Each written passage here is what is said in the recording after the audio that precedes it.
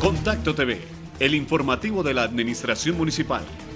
Calidad con experiencia al servicio de la comunidad.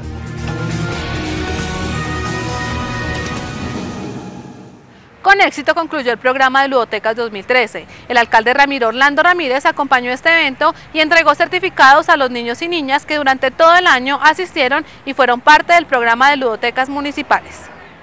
La Ludoteca Municipal realizó el cierre de actividades del año 2013. El balance entregado por las profesionales al servicio de Colsubsidio fue positivo teniendo en cuenta que se atendieron durante todo el año cerca de 11.500 servicios para niños y niñas entre los tres meses de edad y los 12 años. Quisimos culminar este programa con el cierre de talleres artísticos, donde los niños elaboraron diferentes manualidades a partir del mes de octubre hasta noviembre, eh, trabajando tres días a la semana, donde ellos colocaron a prueba su creatividad e imaginación. Las ludotecarias hacen un acompañamiento permanente a los niños